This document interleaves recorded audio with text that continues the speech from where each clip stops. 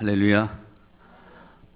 오늘은 종려 주일로 지키는 날입니다. 우리 주님께서 어, 약 2000년 전에 어, 예루살렘에 입성하시는 날이에요. 특별히 나귀 새끼를 타고 예루살렘에 들어가시는데 왜 하필이면 나귀 새끼를 타셨을까? 당시 문화 배경 속에 왕으로 등극할 때에 나귀 새끼를 타고 예루살렘을 돌아요. 그래서 겸손의 왕으로 등극합니다. 하고 선포하는 의식이에요. 예수님은 만왕의 왕으로 많은 사람들이 호산나 다윗의 자손이여 찬송하리로다. 종려나무 가지를 꺾어서 길에 펴고 옷을 벗어서 길에 펴고 거기에 예수님께서 나귀 새끼를 타고 예루살렘으로 들어가십니다. 사람들은 이제 됐다. 로마 정부를 물리치고 우리나라가 독립할 것이다. 그러나 예수님의 마음은 달라요.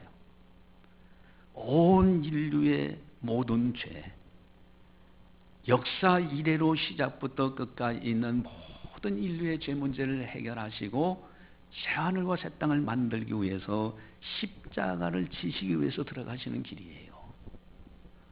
십자가의 고난 한 주간을 우리 주님은 그 십자가 앞에 내놓고서 기도하시면서 또 제자들을 가르치시고 그리고 성금요일 날 오전 9시에 십자가에 달리시고요. 오후 3시에 운명을 하십니다. 우리 주님께서는 가상칠언이 있죠. 엄청난 고통 중에서도 일곱 마리 하실 때 얼마나 고통스러우신지 나의 하나님 나의 하나님 어찌하여 나를 버리셨나이까 아예 지, 지옥에 던져지는 무서운 괴로움을 다 맛보셨어요. 우리가 당해야 될 죄값을 예수님이 대신 갚으시는 장면입니다. 그리고 마지막에 운명하실 때는 다 이뤘다 말씀하시고 내 영혼을 아버지 손에 부탁하나이다. 그러면서 운명하셨어요. 여러분 내일이면 이제 십자가를 진다. 오늘 밤이 되었을 때 얼마나 답답한 심정이 됐겠어요. 오늘 본문이 바로 그것을 기록하고 있는 내용입니다. 오늘 설교 제목은 어찌하여 자느냐. 한번 이것 말씀을 깊이 묵상해 보시기 바랍니다. 만약에 주님께서 나에게 질문한다면은 나는 무엇이라고 대답을 할 것이냐는 거예요. 지금 예수님이 온 인류의 죄를 담당하기 위해서 십자가의 고난 주간 그 길로 가고 계신데 어찌하여 자느냐라고 질문하신다고 하면은 과연 나는 어떻게 대답을 해야 될 것인가? 여러분 영적인 잠을 잔다는 것은 참 무서운 거예요. 뭐 육신적으로 잠자는 거, 피곤하면 자는 거, 아 그건 당연한 거죠. 근데 영적인 잠잘 때 이것이 가장 무서운 겁니다. 많은 사람이 홍수처럼 휩쓸려 가게 돼 있어요. 오늘 누가복음 21장 34절을 보시면은 앞에 한 페이지를 쭉 넘겨 보시기 바랍니다. 누가복음 21장 34절 우리 한 목소리로 같이 함께 보도록 하겠습니다. 너희는 스스로 조심하라. 그렇지 않으면 방탕함과 술 취함과 생활의 염려로 마음이 둔하여지고 뜻밖의 그들이 날이 덫과 같이 너희에게 임하리라. 아멘. 마음이 둔하여진다. 이게 영적 잠자는 거예요. 방탕해요. 세상 쾌락 즐기다 보니 마음이 둔해졌어요. 깨어있지를 못합니다. 영적으로 잠자고 있어요. 술 취함. 어떤 사람은 돈에 취하고 명예에 취하고 욕심에 취하고 이성에 취해 있어요. 마음이 둔해져요. 특별히 생활의 염려로 바빠요. 아, 나 지금 직장 생활하기 바쁩니다. 나 가정일, 이웃사람, 친구 만나기 바쁩니다. 생활의 염려요. 마음이 둔해져요. 어느 날 갑자기 덫이 많은 것처럼 임한다. 여러분 이게 영적인 잠자는 사람들을 향해서 하시는 말씀이에요. 어찌하여 자느냐? 한번 좀 깊이 생각해 봅시다. 만약에 이것도 만약입니다. 어떤 사람이 그래도 나는 천국 가겠지 했는데 지옥에 갔다면 어떻게 되겠어요? 그때는 후회해도 소용이 없는 거예요. 교회는 왔다 갔다 하는 것 같은데 영적으로 잠자고 있어요. 마음이 둔해졌습니다. 어느 날 갑작시 더 심하는 것처럼 이 많은 심판의 때에 들어가게 된다고 하면은 과연 어떻게 될까? 오늘 설교 제목은 어찌하여 자느냐? 예수님께서 하시는 말씀이에요. 어찌하여 자느냐? 영적인 사람들 그들을 향해서 그런 변명거리 있죠. 아, 내가 이러이러해서 어쩔 수 없습니다. 그러나 책임은 그 사람이 져야 되는 거예요. 오늘 45절 본문 45절 보면은 다시 본문 45절로 넘어가셔서요. 22장 45절. 우리 한 목소리로 같이 함께 보겠습니다. 기도에 일어나 제자들에게 가서 슬픔으로 인하여 잠든 것을 보시고 아멘. 슬픔으로 인하여 여러분 인생 살다 보면 슬픈 일을 많이 만나요. 참 다사다난합니다. 문제 없는 가정 없어요. 어떤 사람 그럽니다. 내 입장 되어봐. 여러분, 어쨌든 고난을 당할 때 충분히 이해갑니다만은 그러나 영적으로 무뎌 있고 잔다고 하면은 그건 문제가 돼요. 이런저런 변명할 수도 있어요. 그러나 그건 통하지 않습니다. 어떤 상황에서든 책임은 그 사람이 져야 되는 거예요.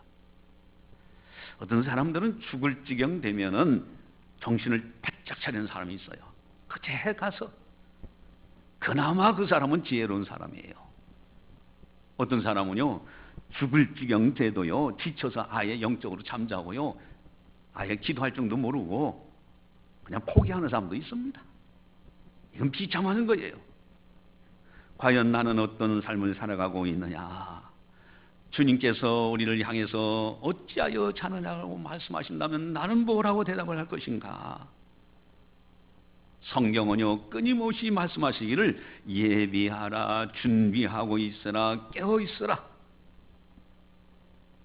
과연 우리들의 영적인 상태는 어떠냐 이거예요 세상 안의 염려로 방탕함으로 술 취함으로 마음이 둔해져서 세상 사람처럼 휩쓸려 가고 있지 않는가 어 하는 사이에 내 나이가 벌써 이렇게 됐나 내가 지금까지 못하며 살았지? 끊임없이 세상 것, 세상 것, 그것이 전부인 줄 알고 살았는데, 지나놓고 보니 후회만 있어요. 아무것도 없어요.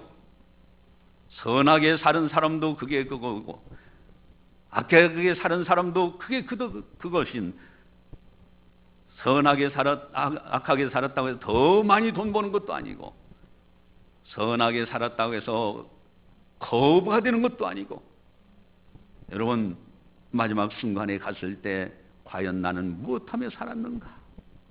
내가 누구를 위해서 살았는가? 내가 무엇 때문에 살았는가? 앞으로 나는 어디로 가는가? 여러분 참으로 비참해질 상황이 있다는 것을 우리 한 번 좀 생각해야 돼요. 주님은 분명히 말씀하십니다. 예비하고 있어라. 준비하고 있어라. 깨고 있어라. 진정으로 주를 위해서 살아가는 아름다운 인생길. 주님, 내가 부족하지만 내가 이렇게 주님을 위해서 하나님 연구에서 최선을 하며 살았습니다. 이 말 한마디 할 수 있어야 되지 않겠어요? 깨어 있어라. 그렇다면 어떻게 하는 것이 깨어 있는 것일까? 오늘 본문에 보면은 네 번이나 반복되는 단어가 있어요. 41절에 보면은 무릎 꿇고 기도하여 기도라는 단어가 나와요. 40절에 유혹에 빠지지 않게 기도하라는 기도가 라는 단어가 또 나오죠. 또 44절에도요. 더욱 간절히 기도하시니 46절에는 시험에 들지 않게 일어나 기도하라. 여러분 깨어있는 아주 중요한 비결은 기도입니다. 기도. 기도가 깨어 있는 거예요. 기도하는 사람들에게는 어느 날 덫과 같이 갑작스럽게 임하지 않습니다. 마음이 둔해지지 않아요. 깨어있는 아주 중요한 비결은 기도입니다. 기도하면 주님을 바라보게 돼 있어요.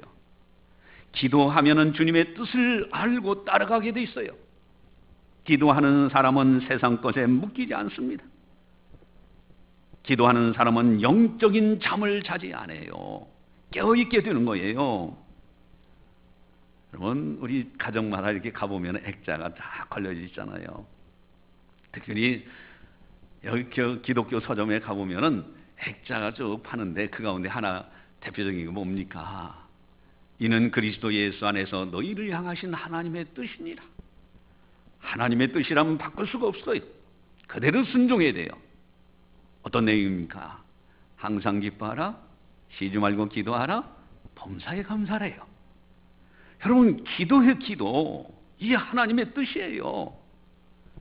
만약에 기도하지 않는다면 오늘 예수님은 분명히 지적하십니다. 우리 40절을 함께 보겠습니다. 그곳에 이르러 그들에게 이르시되 유혹에 빠지지 않게 기도하라 하시고 아멘. 기도하지 않으면 유혹에 빠져요. 유혹에. 우리 청년들하고 잠깐 이제 성경 공부를 할 때 우리 어 이제 자매님이 아 좋은 질문했어요. 유혹하고 미혹하고 어떤 차이가 있습니까? 저도 깊이 생각 안 해봐가지고 그때 선뜻 대답하기가 뭐 하더라고요. 근데 유사 단어라는 것은 우리가 다 알고는 있어요. 아, 그래서 그 유혹이라는 단어와 미혹이라는 단어가 뭔가 하고 살펴봤더니 미혹이라는 것은 그냥 혹하게 넘어가는 거예요. 그래서 여기 아 뭐가 있나 보다 하고 가보니까 그러면 자기도 모르게 빠져버리는 거예요. 미혹이에요. 혹할 만한 곳에 가서 이게 빠지는 것이 미혹입니다. 그럼 유혹이 뭐냐? 꿰 유자예요. 의도적으로 그 사람을 깨어가는 거예요. 여러분, 기도하지 않으면 꿰매 넘어갑니다. 시편의 150편의 총 강령은 시편 1편이에요. 시편 1편의 첫 말씀이 뭡니까? 복 있는 사람은 그렇게 돼 있어요. 복 있는 사람은 누굽니까? 돈 많이 벌고 등 따시고 명예 얻고 그런 사람이 복 있는 사람이라고 성경을 말씀하시잖아요. 시편 1편 1절에 복 있는 사람은 악인의 꾀를 따라가지 않는다. 유혹당하지 않는 거예요. 끼는데 넘어가지 않는 겁니다. 기도하는 사람이 유혹받지 않습니다. 기도하는 사람이 이단 사설에 빠지지 않는 거예요. 기도하지 아니하고 생활의 염려나 방탕함, 호기심 이런 걸 갖는 사람들이 이단이 와서 조금만 접근해서 조금만 그럴듯하게 이야기하면은 그만 유혹당하고 말아요. 여러분, 기도라는 것이 너무너무 중요한 거예요. 또 오늘 기도하지 않으면은 46절에 보니까 우리 함께 보겠습니다. 46절. 이르시되 어찌하여 자느냐 시험에 들지 않게 일어나 기도하라 하시니라. 아멘. 여러분 시험에 빠집니다. 가끔 가다 보면 그런 분들이 있어요. 아, 죽고 싶습니다. 이 시험에 빠진 거예요. 여러분 기도하지 않으면 빠져요. 그러나 기도하는 사람들은 시험을 이겨나갑니다. 여러분 시험들 많은 것이 뭡니까? 대표적인 성화 딱 보시면요. 그 할아버지 한 분이 빵 한 조각 놓고 손 모으고 감사 기도를 드려요. 여러분 끼니 걱정이 되어서 지금 빵 한 조각이 있다면 시험 들만 하잖아요. 그러나 기도하는 그 할아버지는 오히려 빵 한 조각 놓고도 하나님께 감사해요. 하늘의 평화가 그분 마음속에 넘쳐나는 겁니다. 기도하지 않을 때 시험 든다 하는 거예요. 기도하지 않으면요 어려운 일들이 생겨나고요 괴롭고요 마음이 답답하고 어떤 상황에서 이것을 어떻게 선택해야 될지 갈등하게 돼 있어요. 그러나 기도하면요 거기에 지혜가 떠오르고요 문제를 이겨나갈 수 있는 어려운 상황을 이겨나갈 수 있는 그리고 담대함을 주시고요. 기도가 승리케 하시고 찬양케 하시고요. 깨닫게 하시는 놀라운 역사를 일으켜요. 여러분 트루먼 대통령이라는 분에 대한 일화를 잘 알고 있어요. 원래 루즈벨트 대통령이 사선을 대통령을 했습니다. 아 그러다 급하게 서거를 하게 되셨어요.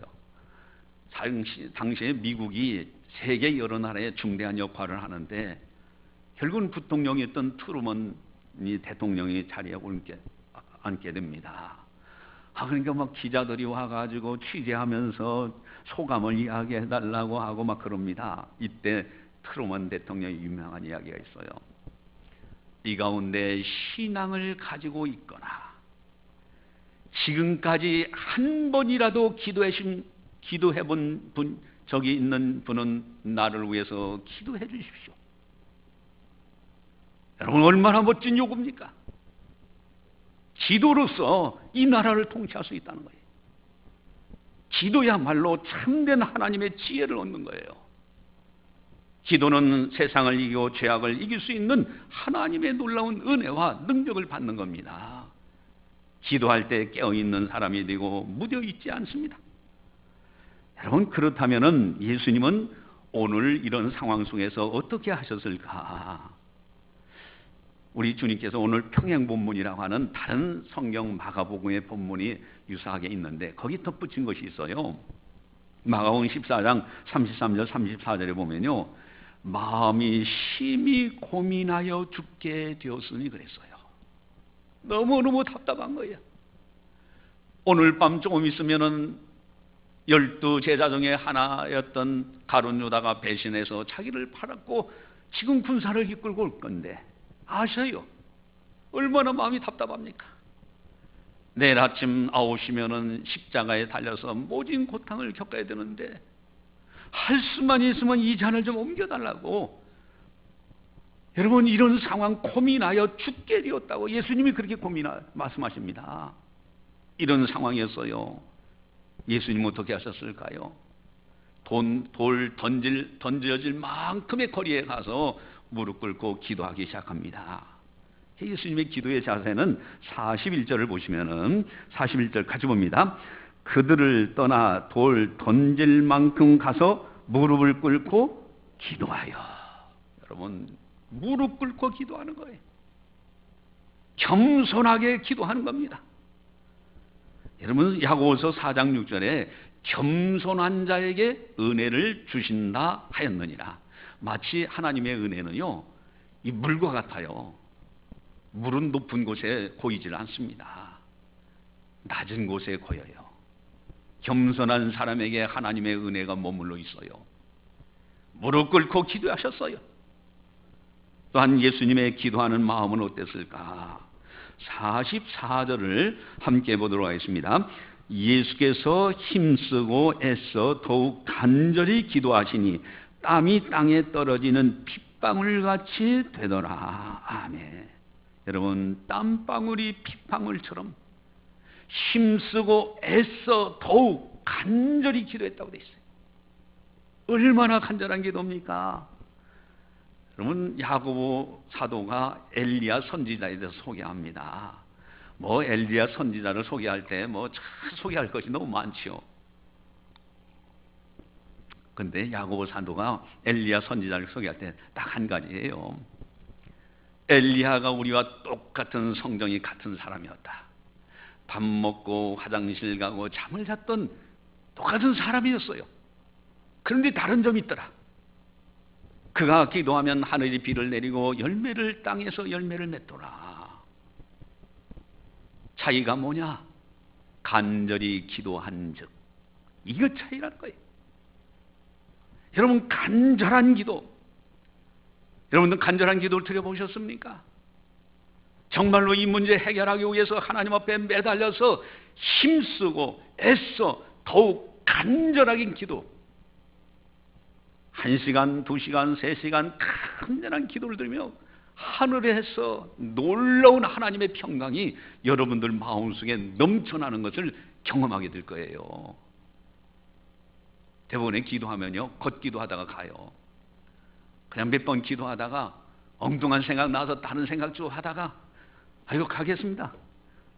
그러니 뻘떡 일어나가지고 갑니다. 예수님은 힘쓰고 애써 더욱 간절하게 기도하셨다. 여러분 하나님 앞에 간절한 기도예요. 이럴 때 깨어있는 사람이요. 이런 사람 마음이 둔해지지 않습니다. 세상 것에 휩쓸려 가지 않아요. 또한 예수님의 기도의 내용은 어떠했을까? 우리 42절을 함께 보도록 하겠습니다. 이르시되 아버지여 만일 아버지의 뜻이거든 이 잔을 내게서 옮기시옵소서 그러나 내 원대로 마시옵고 아버지의 원대로 되기를 원하나이다 하시니 하면 첫 번째 기도 제목이 뭡니까? 문제 해결을 위해서 기도하는 거예요. 제발 할 수만 있으면 이 십자가 지지 않고 아버지의 뜻을 이룰 수는 없습니까? 이것을 놓고서 간절하게 기도하는 거예요. 그러나 기도의 결론은 뭡니까? 내 원대로 마오시고 아버지의 원대로 되기를 원하나이다. 여러분 어떤 땐 기도할 때 내가 뭐 어떤 문제 해결을 하기 위해서 간절하게 기도했는데 내 생각에 그 순간에 이루어지지 않는 것 같아요. 근데 시간이 지나놓고 조금 뒤돌아보면요. 아, 하나님께서 더 좋은 것으로 만들어 주셨구나. 하나님 아버지의 뜻이 여기 있었구나. 그것을 깨달을 때가 참 많아요. 예수님은 십자가 안 지고 할 수 있는 길이 없습니까? 하고 간절히 기도했어요. 큰 고난의 문제입니다. 그런데 하나님 아버지께서는 십자가를 지시기를 원하셨어요. 그 고통의 십자가를 줬어요. 지고 났더니 하나님께서는 그 다음에 3일 만에 다시 사망 권세에서 예수님을 건져내신 거예요. 부활입니다.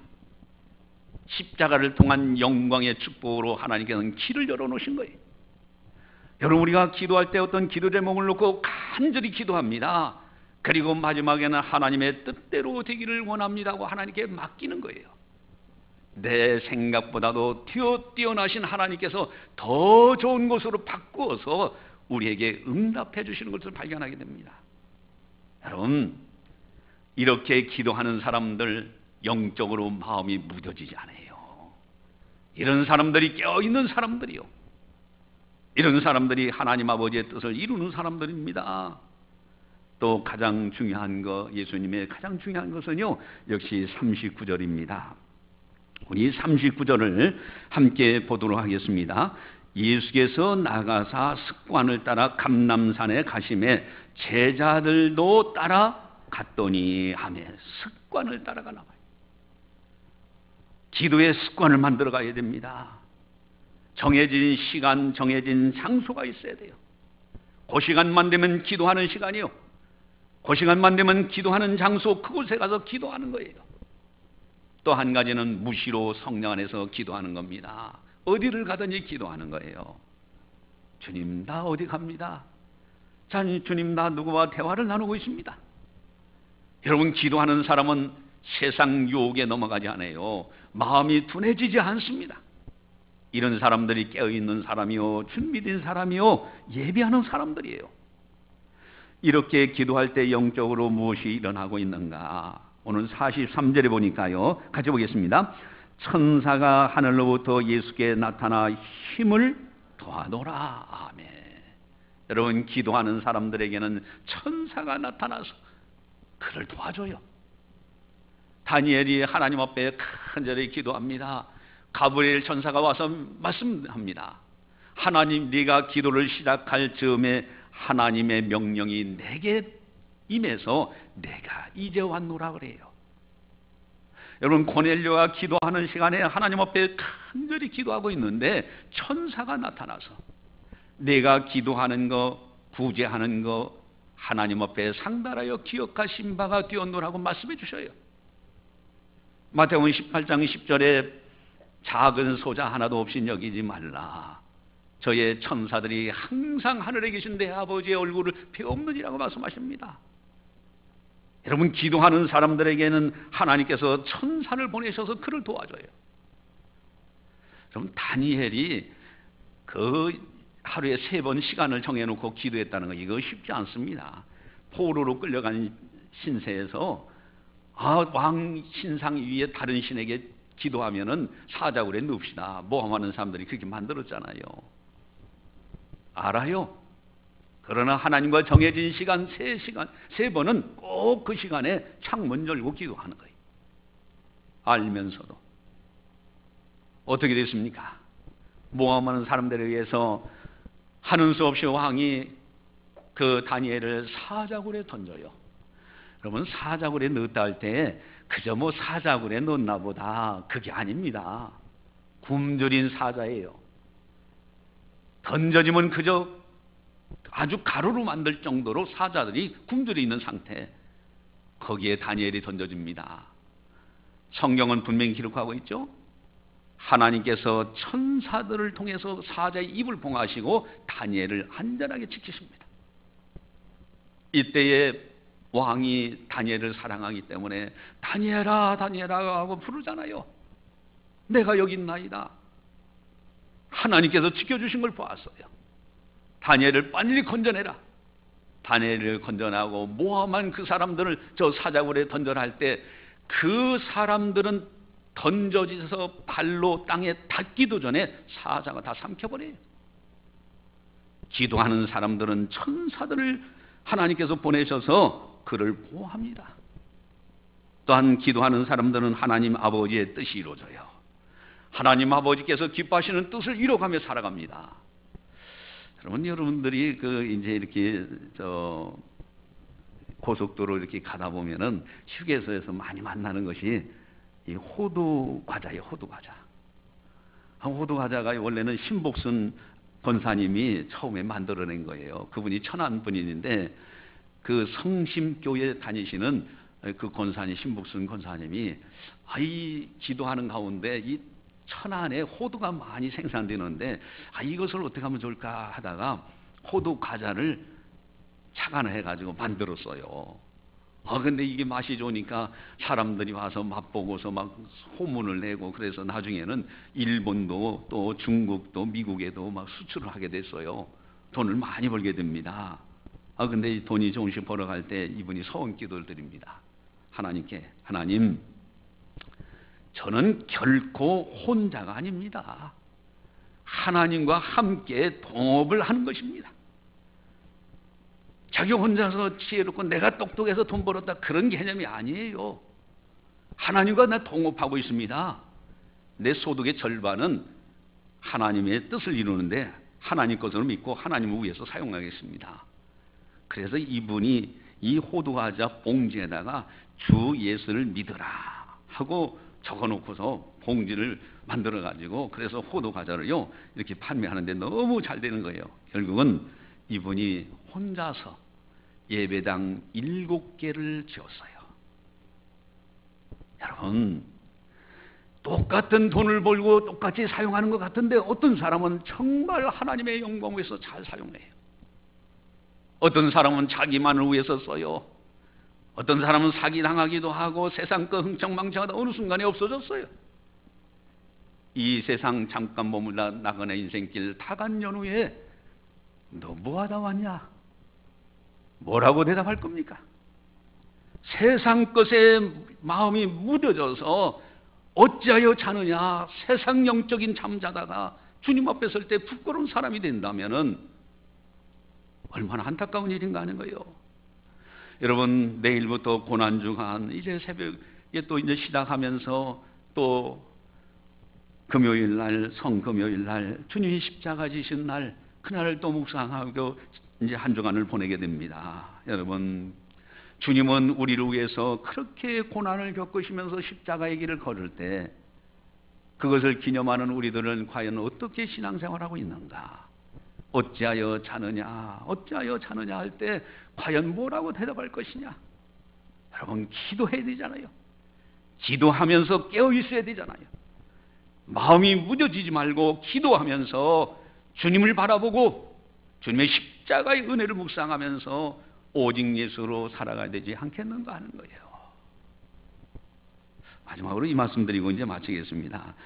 이제 그 미국의 달라스 신학대학교 교수였던 하워드 핸드릭스의 그분이 전해준 실화입니다. 근데 이제 어느 한 대학에서 대학 교수가 물리학 교수예요. 아 그러니까